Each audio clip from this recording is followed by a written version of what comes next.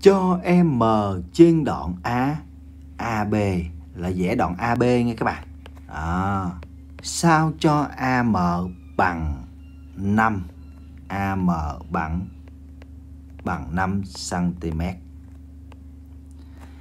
AB AB bằng 12 cm khi đó MA trừ AB bằng bao nhiêu?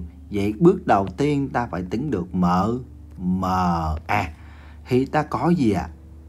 M nằm giữa nằm giữa đoạn A AB vậy suy ra ta sẽ có gì ạ à? MA hoặc là AM cộng MB